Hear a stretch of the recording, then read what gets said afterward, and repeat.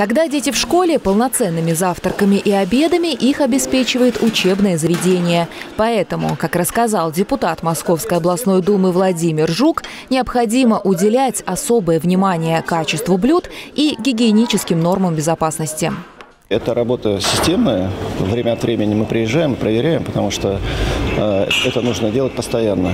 В течение февраля областные депутаты посещали образовательные учреждения Подмосковья с целью контроля горячего питания учащихся. Владимир Жук продегустировал обеды в Лопатинской и Видновских школах номер 6 и 9. Первое, второе компот. Качество хорошее, вкусно и в одном случае, и в другом. Хотя, хотя продукты одинаковые, но повара все равно разные. Поэтому небольшие оттенки есть, но они именно вкусовые. Владимир Жук проверял качество еды, полноту порции, состояние пищеблока, наличие графика питания. Также пообщался с учащимися начальных классов. Больше всего я люблю борщ, рыбный суп, который сегодня подавали, сырники, а, запеканку и а, омлет. Мне нравится, достаточно вкусно.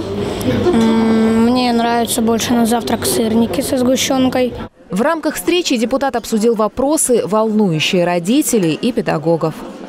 Впечатление очень положительное. Хороший э, ремонт столовых, оборудование, пищеблок.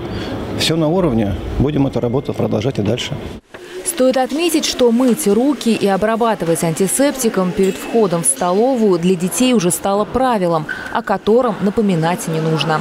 Инспектировать школьное питание областные депутаты будут на постоянной основе. Присоединиться к проверке могут и родители. Для этого в Подмосковье работает губернаторский проект «Родительский контроль». Наталья Буслаева, Александр Логинов, Елена Кошелева. Видное ТВ.